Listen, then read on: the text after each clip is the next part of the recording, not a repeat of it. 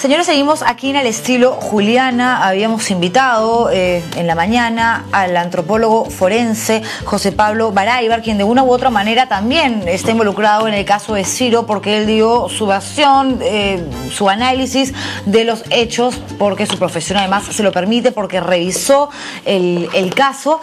Y al principio dijo que sí, después que no, como que no quería tener eh, o estar metido en mucho escándalo y demás, porque no es una persona acostumbrada a eso, pero finalmente decidió venir, cosa que por supuesto le agradezco y lo saludo. ¿Cómo estás? Bien.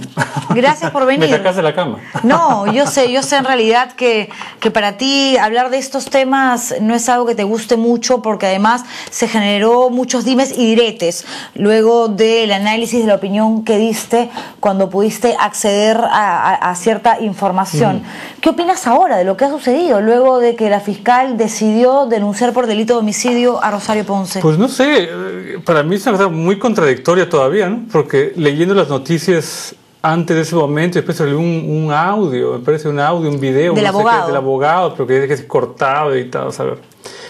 Eh, todo muy folclórico, ¿no? O sea, yo estoy muy interesado en saber qué pruebas van a, van, a, van a dar, si es que hay, porque sigo diciendo lo que dije al principio. Y esto, que quede claro, no tiene nada que ver con si la chica es inocente, culpable. Jamás me, he, me he pronunciado sobre, al respecto. Lo que he dicho es lo siguiente. Si es que empujan a una persona, si la persona se resbala, ese aspecto es inmaterial. Lo que cuenta es cómo tener el cuerpo al final de la caída. Uh -huh. Entonces, a menos que haya una cámara, un testigo, una confesión, un lo que sea, pueden haber miles de especulaciones. Pero yo estaba escuchando hace un momento la, la entrevista del señor Castillo y digo también una cosita.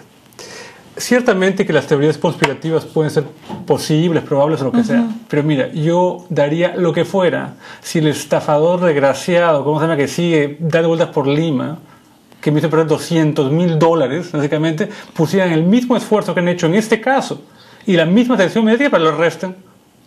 Y ahí te podría haber teorías conspirativas, teorías conspirativas que van desde los arreglos con cosas más, sociedades con Alan García, el papá y tanta, tanta cuestión. Entonces digo, ¿Sabes? O sea, por teorías conspirativas todo es muy fácil. ¿sabes? Claro, lo que pasa es que en este caso, puntualmente, José Pablo, lo que muchos decían antes de que apareciera el cadáver de Ciro era, una vez que hay en el cuerpo, el cuerpo va a hablar. Finalmente el cuerpo apareció, pero no ha dicho mucho. Dijo un montón. Porque pero se dijeron un montón de cosas, pero finalmente no hay una sola teoría, por lo tanto es difícil saber exactamente qué fue lo que sucedió. Cuando tú analizaste eh, las fotos tomadas al cadáver mm. y demás, dijiste que se trataba de un desbarrancamiento, pero que era imposible saber si lo empujaron o no. ¿Qué es el, qué es, o sea, quiero decir, hay, una, hay un límite respecto a cuánto la pericia puede decirte.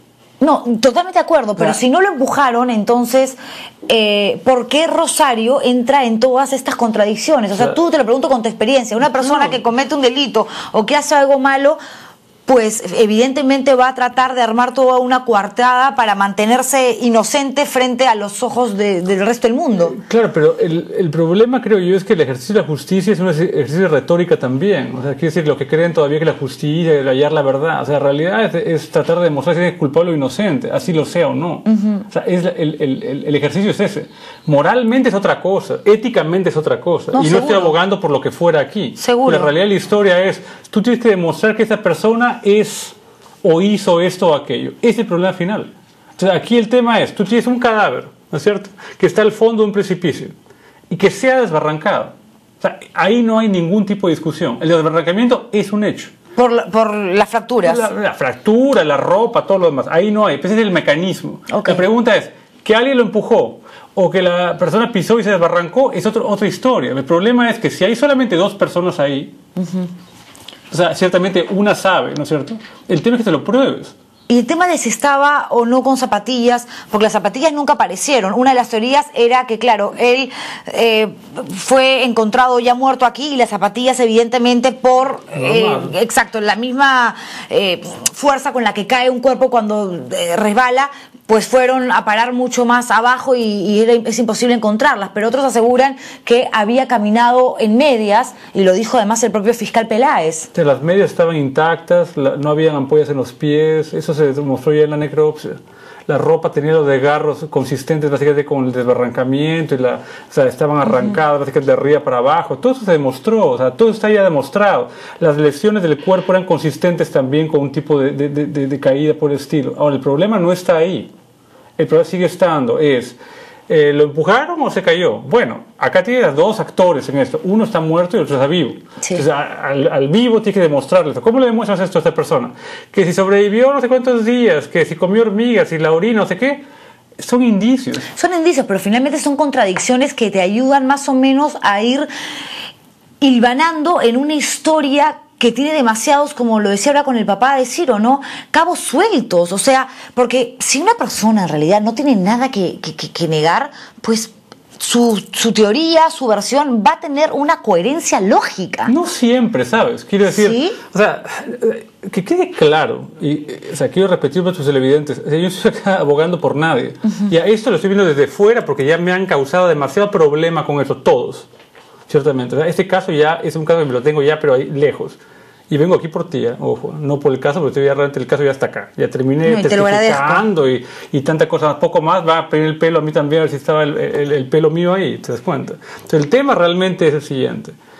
¿Que hay incoherencias? Bueno, pues puede haberlas. ¿Qué- o sea, ¿Por qué no? O sea, es posible, sí es posible que haya incoherencias. Las incoherencias y los indicios, estos de aquí, son suficientes para acusar a alguien? Yo no sé. O sea, yo no sé si esto aguante a la hora de un juicio. Es decir, ciertamente a gente se le ha condenado por mucho menos, pero hay que tener mucho cuidado con eso.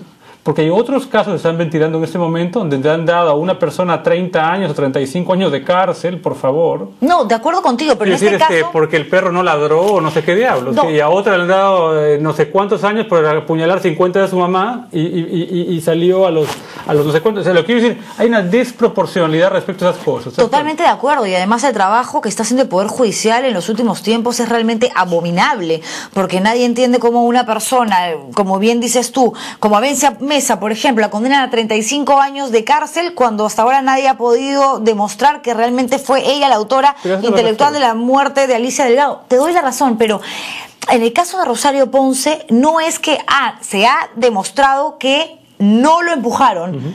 Entonces ah, cualquiera podría decir, ah, bueno, entonces Es Rosario es- no tiene nada que ver. No, Acá no, no. se puede decir si sí o si no. pero ahí está el tema. Pero recuerda que es, eh, la duda va hacia el reo, ¿no? El eh, dubius pro reo, siempre es el- el- el- el- la lógica. Es decir, que la, la duda va a favor de la persona acusada. El problema en este caso es el siguiente. Es casi inmaterial. ¿Cómo lo demuestras? O sea, el tema real ya, cuando el juez te pregunta, bueno, ya, todo bacán. Pero usted, ¿cómo demuestra que esta persona lo empujó?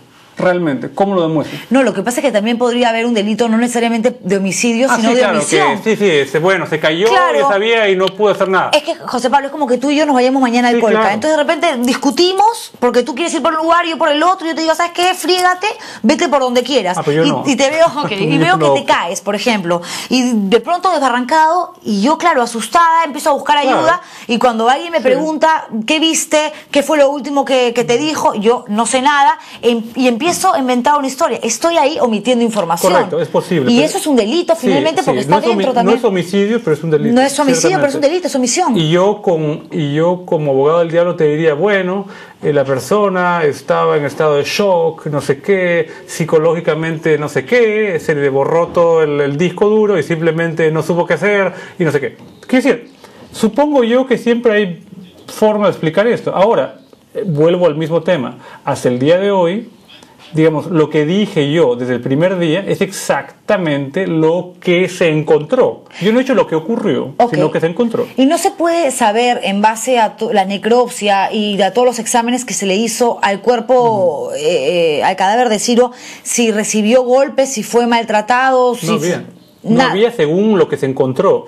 La necropsia que se ha hecho es una necropsia eh, con procedimientos especiales, han hecho disecciones de partes, este, de, de varias partes, y se ha tomado un tiempo, un trabajo y un despliegue personal que no se ha tomado casi en ningún caso común y corriente que veas en la, que veas en la calle. O sea, ese es, es otro tema. O sea, lo que yo quiero recalcar acá, y sí me molesta a mí, básicamente, es lo siguiente, que se siga hablando de teorías conspirativas a esas alturas, cuando se ha invertido hasta el helicóptero presidencial. Lo que quiero decir es, no me, no me parece justo para otros casos. Ahora, me parece perfecto que este caso tome esa atención. Y todos los casos deberían tener la misma atención. Exactamente, pero el problema es el siguiente, la carga de la prueba aquí que la misma fiscal está usando para esto, está demostrando como prueba a lo de la parte forense, no conozco los testimonios ni nada por el estilo, que se desbarrancó. Bueno, José Pablo, pero si fuera tu hijo o una persona cercana a, a ti de una manera tan directa, ¿no harías lo mismo también y lucharías para que verdad, el sí. helicóptero presidencial llegue al Colca? Correcto, la verdad sí, pero el problema es caer un poco al asunto en que simplemente todo el mundo es culpable. Y a mí, me, a mí me involucraron en este asunto casi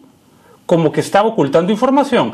Y el señor Castillo lo sabe perfectamente, por lo dijo en los medios, como que yo no sé qué, que estoy ocultando. No, por, por el tema de las coordenadas, ¿no? Las que coordenadas, que le entrevisté a Rosario Ponce, te entrevisté a ti también en la época en La Mula. Por el día del periodista, mía, no por este Que caso, por si que acaso. conste, que conste. Pero mi programa en La. Mula, cuando jugaba periodista, y simplemente, o sea, no te pases. que Vamos a regresar con eso para aclarar Bueno, ese asunto, ajá. pero primero tenemos que hacer un pau- una pausa comercial. Volvemos.